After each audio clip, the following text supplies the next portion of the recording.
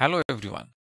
In this video, we will solve a few practice sums using all the laws of exponents which we have learned. Here is the first one. Using laws of exponents, simplify and write the answer in the exponential form. If you see here, the base is same. So we are going to use like base rule. So in the like base rule, in the answer, base remains same.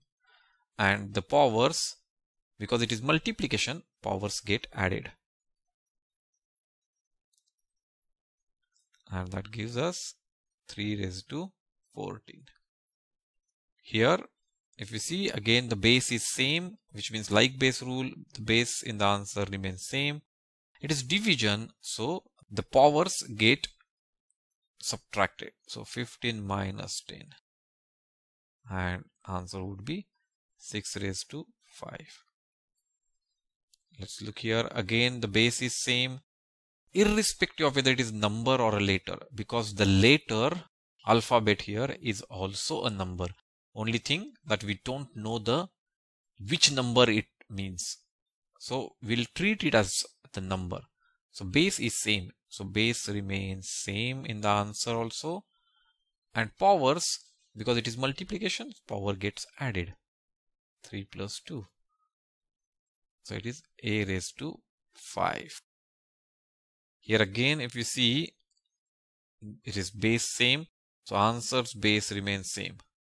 Again, powers will get added irrespective of whether it is a alphabet or number.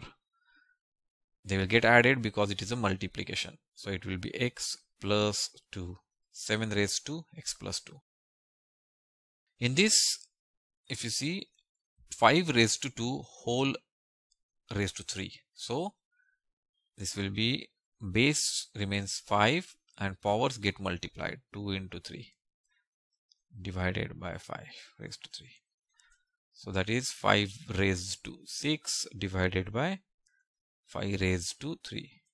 Now here base are same. So in answer the base remains same. It is division so powers will get subtracted 6 minus 3 and answer is 5 raised to 3 here like base the base remains same in the answer. Division so powers get subtracted. So t minus 2 let's do the next one. Let's simplify this using the rules. Now here whenever we have such kind of things 2 3 4 look for the prime numbers. Now 4 here. 4 I can represent as 2 raised to 2, 2 square. Same with 32. I can represent it as 2 raised to 5.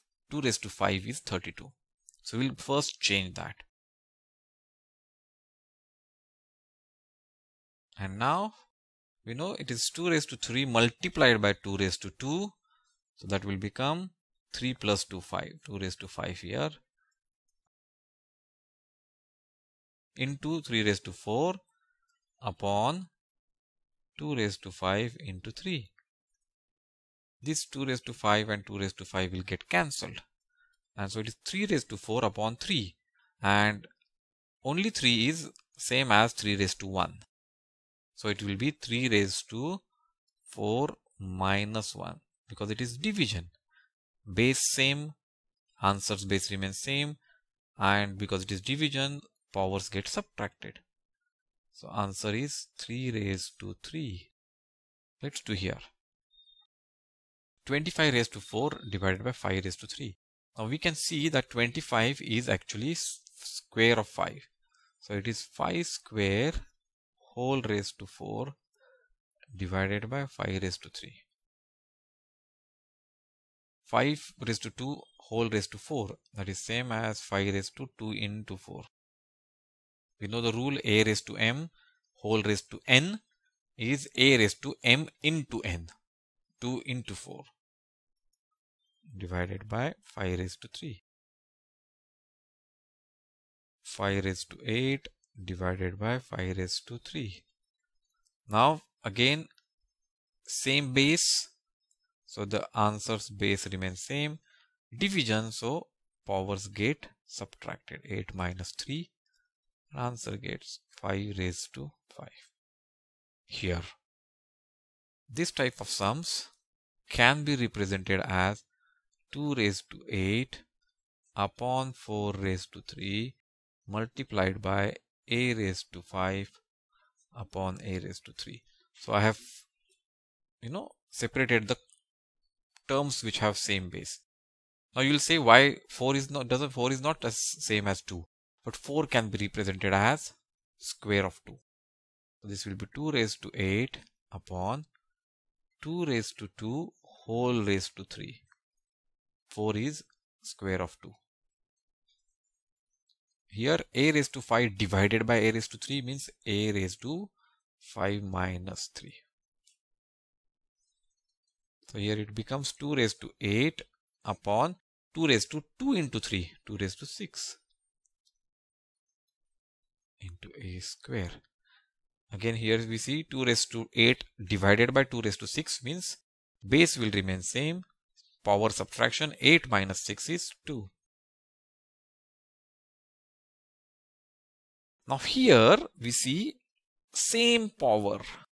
When we have same power in the answer, we multiply the bases 2 into a is 2a raised to power remains same.